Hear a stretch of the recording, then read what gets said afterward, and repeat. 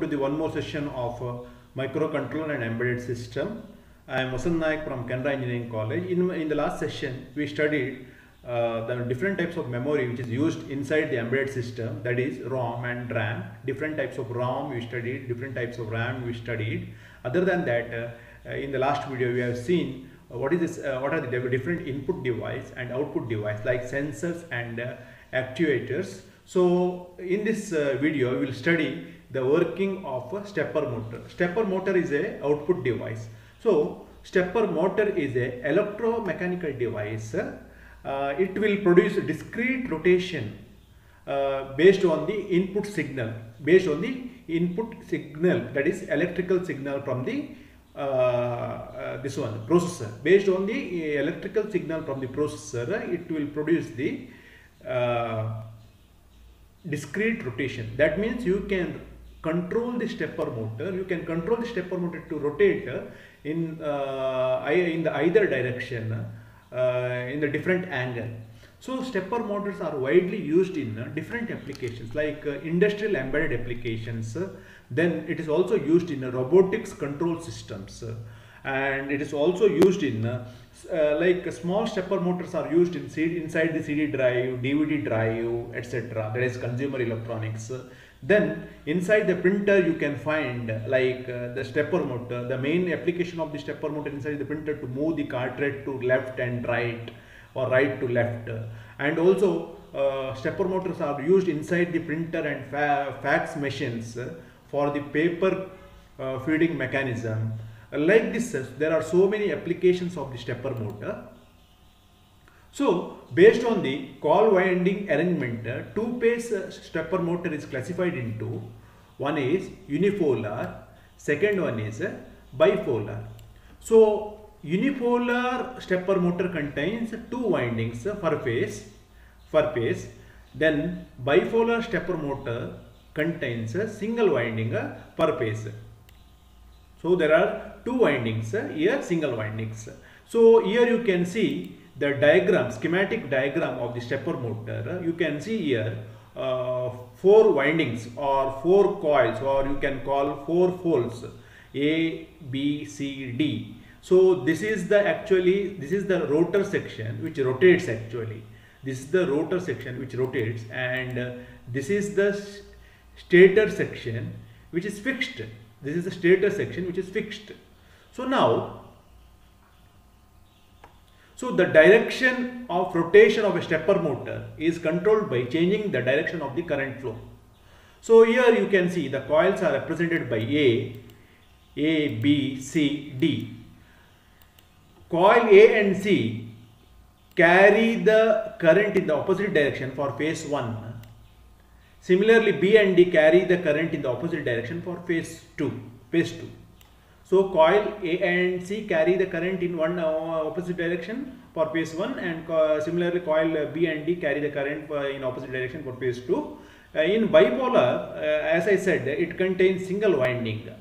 So, single winding for say, reversing the motor uh, rotation in the current flow. So, like for reversing the motor rotation, the current flow through the winding uh, is reversed dynamically. So, uh, before proceeding to, uh, uh, there are different types of stepping of the stepper motor. So, that is full step, half step, wave step, etc. We will see now the working of the stepper motor, how it works. For the uh, like representation purpose, I have drawn the uh, like uh, I have used this diagram. I have used this diagram. Here you can see like four poles are there. That is There are four poles here. You can see A, B, C, D. A and C are opposite poles. So similarly, B and D are the opposite poles. And on each pole, on the each pole uh, or on the coil, you can see the winding. And uh, these windings are opposite in uh, direction. You see the windings of this one. uh, the windings go something like this. Here you see the windings go something like this. So windings are opposite in direction. Similarly, you take the pole B and D. here also the windings are opposite in direction so this is this uh, creates uh, like uh, both like uh, south pole at the because of this opposite uh, the, direction of the windings uh, one pole acts like a north pole other pole acts like a south pole one pole acts like a north pole and other pole acts like a south pole so if i want to rotate the rotor i have to energize the coil a and c when you energize, the coil A and C, then it will rotate one step. That time you have to make the coil, you have to uh, de-energize the coil D and B. That is, suppose if I give logic 1 to A and C, then I have to give logic 0 to B and D. When I give logic 1 to B and D, then I have to give logic 0 to A and C. So, if you see here the rotor part, here uh, we have shown 8 teeth like 1, 2, 3, 4, 5, 6, 7, 8. If you consider normal rotor, in uh, it, it will have minimum 50 teeth. 50 teeth here for the uh, to in order to represent the working purpose I have shown we have shown 8 teeth in the diagram 8 teeth are shown. So now if you energize the coil A and C by giving logical 1 then this becomes uh, assume this becomes north pole and this becomes south pole then this north of this teeth will get attracted towards this one and this south will get attracted towards this one because this is north so this south will get attracted towards this one so this north will get attracted towards this one so this one uh, that means it will make one rotation after that, you energize coil B and D. That time it will make one more rotation. Like that, uh, like that, if you keep on energizing the coil, it will complete one full rotation. It will complete one full rotation. So this is the diagram, uh, uh, diagram for uh, explanation purpose we are using. Here you can see four poles are there that is A, B, C, D and here for explanation purpose only two teeth are shown in the rotor. This is the north and this is the south. So here four poles are there that is so this one is uh, this one is pole A, this one is uh, pole C and uh, this one is pole B. This is A, this is B, this is C and this one is a D. Suppose if I energize this and this this and this now this becomes south this becomes north think this becomes south and this becomes north that time south and south and south this this south pole repel the this I, I mean this teeth get repelled because of this uh, uh, same pole and it will get attracted towards the north pole so it will make one rotation one rotation. Now this this teeth become uh, become uh, horizontal. Once again, if you energize energize uh, like uh, this and this, then it will make one more rotation. In that way, you need to energize, the coil to make the complete rotation. Now we will see here. There are different types of uh, stepping of the stepper motor. First one is called as a full stepper, second one is a wave stepper, third one is a half stepper. In the full stepper, so first you need to energize coil A and coil B. So as I uh, explained in the earlier diagram, when you energize coil A and coil B, that is when you energize uh, coil A, this one, coil A and coil B, this will this will get get shifted by one, one step. Now, in the second time, you will energize coil B and coil C. Now, this will get shifted by one more step. So, in the third, you will energize C and D. Next, D and A. Like for full rotation, it requires like full rotation it requires uh, totally four uh, steps here four steps full rotation full rotation like 3 360 degree rotation it requires four steps Suppose in order to achieve wave step, uh, you no need to energize uh, both coil. In this case, you have need to energize only one coil, uh, one coil at a time. For example, this coil, if you energize this coil and if this becomes south, then it will ripple from this one and it will move towards that side.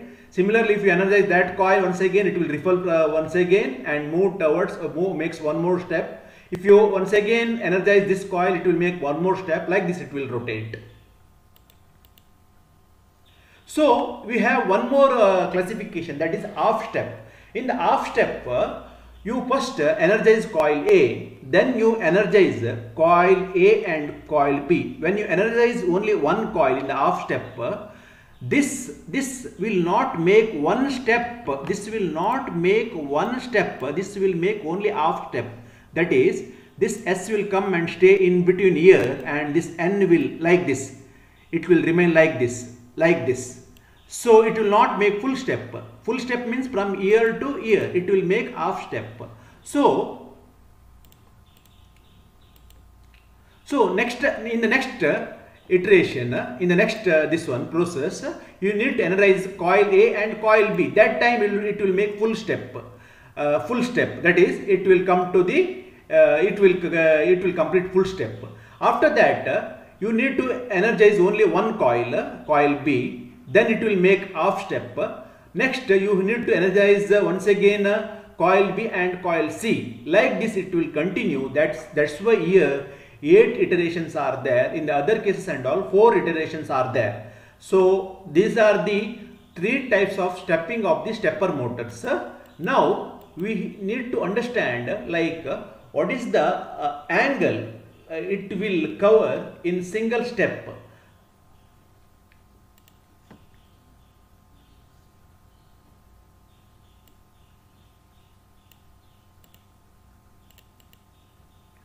So we will see here. So what is the angle uh, it will cover or what is the step angle? So that is calculated by the formula 360 divided by number of uh, uh, like uh, stator poles and number of uh, rotor teeth. We know normally there will be 50 teeth, 50 teeth will be there and number of stator poles, 4 poles will be there so if you calculate 360 divided by 4 into 50, you will get uh, 1.8 degree. That means to cover 180 degrees, uh, sorry, to cover 180 degrees, you need to uh, need to make 100 steps. So to cover 360 degrees, one complete rotation, you need to make 200 steps. Similarly, in wave step, it is same, but in half half step, it is divided by 2. It comes like 0.5 uh, 9 degree something like that. So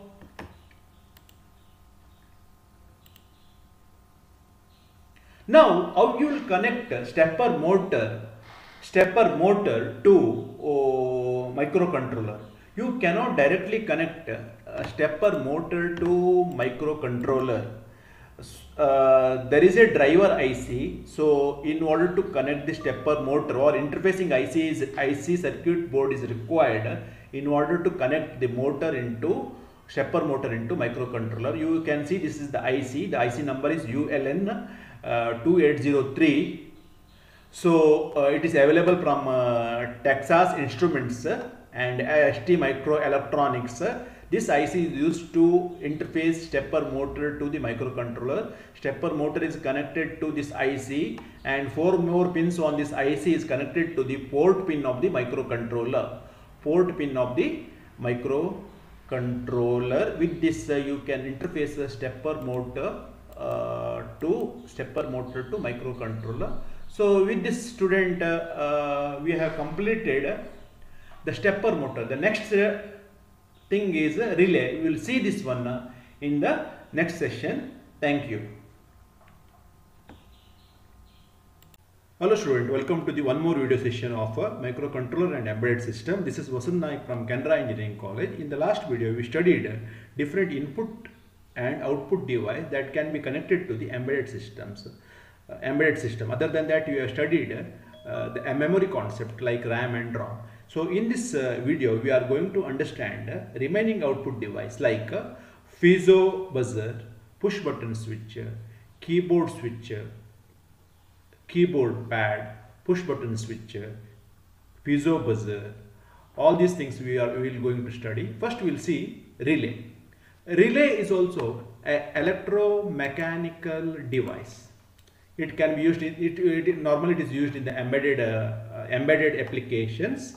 Uh, for dynamic, it acts like a dynamic path selector. Why I am saying it is, uh, why I am saying it acts like a dynamic path selector is uh, it used to change. It is used to change the path from one one point to other point. That's why that's why it is called a dynamic path selector for signals and powers. Okay, so the relays in its contains uh, relay coil made up of insulated wire on the metal core and metal uh, armature with one more, one or more contacts. So how it works? When voltage is applied to the relay coil, current flows through the coil which in turn generates magnetic field. So the magnetic field attracts the armature core and moves the contact point. The movement of the contact point changes the power or signal flow path. This you will understand uh, with more uh, if I show you the diagram. So in the diagram here you can see the diagram. The first one is a single pole, single throw, normal open relay. Second one is single pole, single throw, normal closed relay. Single pole, double throw. In the first case, uh, when you energize this relay, this will generate a magnetic uh, field. So that magnetic field will uh, field will move this contact from this point to this point. That means this will close the contact. It will close the circuit or it will close the contact. Uh, normally it is open when you energize this relay it will close the contact so if you de-energize this one uh, it will uh, move away from this point it will uh, it will uh, remain open so in the second one single pole single throw normally closed. Here already the uh, like the contact is closed. When you energize this relay then uh, this will open. When you de-energize uh, once again it will close. The third one is uh, like path selector here. It acts like path selector. Here it is already connected to this point. When you energize this relay it will move from this point to this point. And it will close the this path. It will close this path. So when you de-energize it will move from here to here and it will close this path.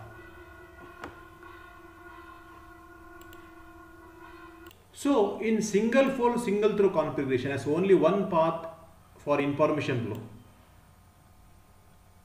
For normally open single path single for normally open single pole single throw relay the circuit is normally open and it becomes closed when the relay is energized. Normally closed single pole single throw configuration the circuit is normally closed and it becomes open when it's realized uh, sorry energized. Then uh, in the other case uh, it is closed and uh, already closed and uh, when you energize the relay it will move from one contact to the other contact. So now the how you can connect a relay. This is the circuit diagram. Here you can see the load circuit is connected through relay through relay and there is a relay driver is there relay driver circuit which connects to the port pin of the microcontroller. So when there is a signal comes from the port pin this uh, relay will get uh, energized and this will close this uh, contact and it, in, it in turn close the circuit. So in this way relay is controlled using relay driver circuit. So next one is a piezo buzzer. Piezo buzzer.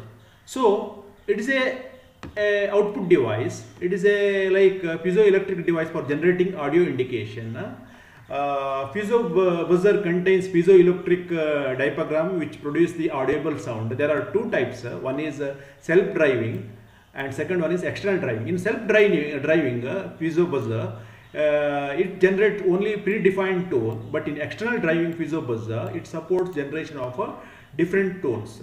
So, piezo buzzer can be directly connected to the processor or controller sometimes, but sometimes it needs some circuit diagram or driving circuit uh, that need to be connected uh, in order to connect to the uh, controller or uh, uh, uh, controller or microprocessor. But uh, in generally, it can be directly connected to the port pin of the microprocessor or a microcontroller. Now, next one is uh, push push button switch. So, push button switch uh, normally it is an input device. It is used to used for two configuration. One is to push to make and other one is to push to break. Push to make means uh, it will close the circuit. When push to break means it will open the circuit.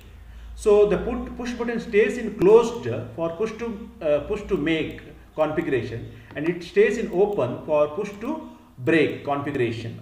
So it is used in many embedded applications like uh, push buttons are used for reset, uh, start uh, uh switch and pulse generator.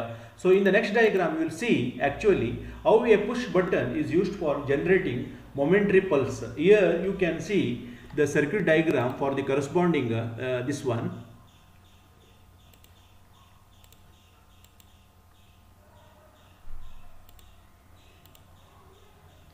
You can see here it will generate high pulse and low pulse. So in this diagram you can see like uh, the push button switch is connected connected and here, here at this point is this point is connected to the port pin. And this is a low resistive path. When you push this switch then anyway it is connected to the ground. It is connected to the ground. So low signal moves to the port pin. Low signal moves to the port pin so but in other case here in the other case here uh, push button switch is connected here push button switch is connected here so, so when you, and this is the high resistive path that is connected to the ground, when you push this switch, then this will take this path, this will take this path rather than high resistive path.